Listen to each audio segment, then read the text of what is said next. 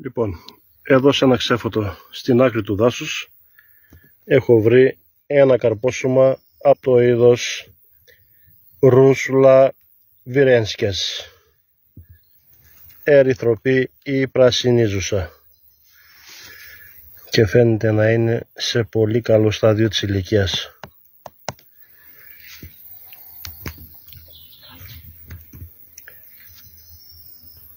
Η πρώτη για φέτος Λοιπόν, Ρούσουλα Βιρένσκες, ερυθροπή ή πρασινίζουσα πρόκειται για βασιδιομήκητα μικρού μεσαίου και σπανίους μεγάλου μεγέθους. Βασιδιώματα με άνοιγμα πυλιδίου από 5, 6 έως και 10 εκατοστά. Σε σπάνιες περιπτώσεις έως και 15 με 18 εκατοστά. Με κυρτό πυλίδιο για αρκετό διάστημα σε πρώιμο στάδιο.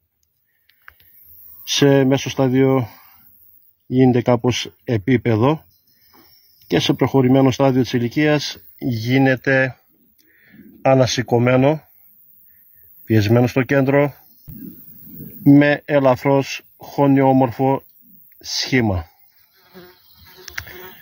Με χρωματισμό πυλίδιο δερμίδας πράσινο, πρασινοπό, λευκοπό καμιά φορά ή κρέμ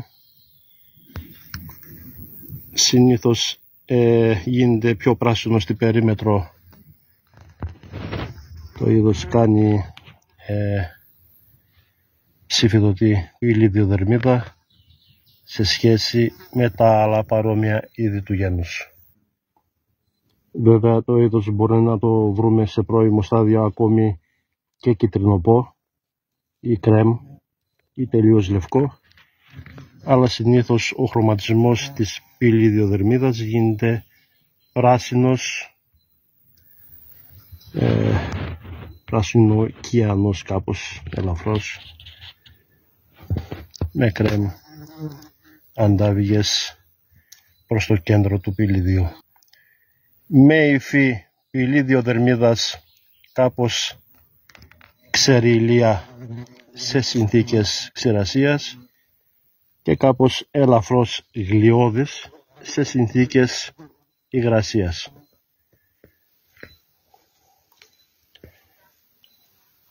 Με γυριστή περίμετρο για αρκετό διάστημα, κύματιστη κολπότη μερικές φορές.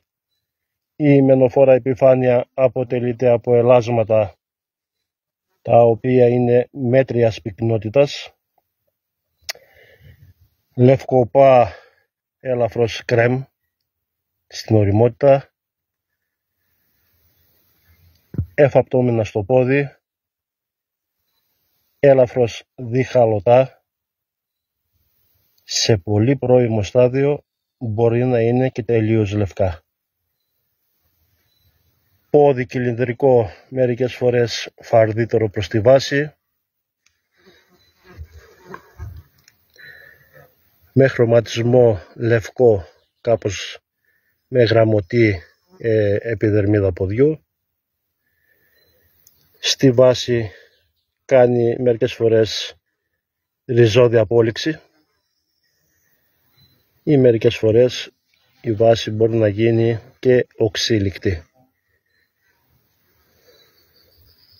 Να πούμε ότι το πόδι μπορεί να φτάσει σε ύψος από 5 έως και 10 εκατοστά και σε φάρδος από 1,5 έως και 3 εκατοστά.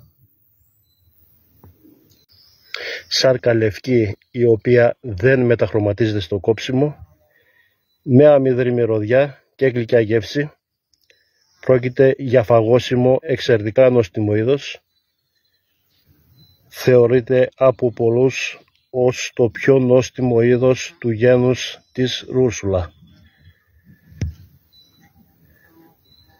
Αυτό και ίσως το Ρούσουλα και Ανοξάντα.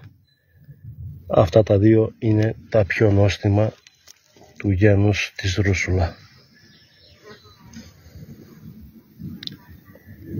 Παρόμοια είδη είναι και το Ρούσουλα και Ανοξάντα όπως είπα.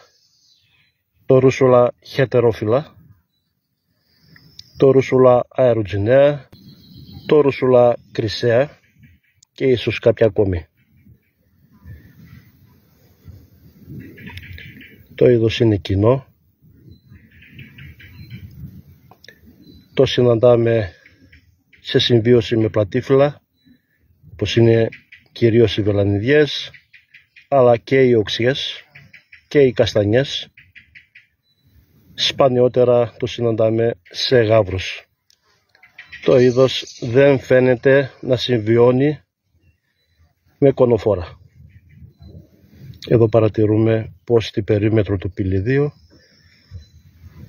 ο χρωματισμός του είναι πιο ανοιχτόχρωμος και βέβαια βλέπουμε τις ψηφίδες οι οποίες σε μερικές περιπτώσεις γίνονται αρκετά ανάγλυφες έως και λεπιδότες.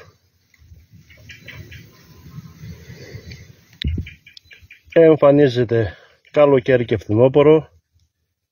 Το συναντάμε από τις αρχές ε, του Ιούνιου, αρχές μέσα Ιουνίου έως και τα τέλη Οκτωβρίου.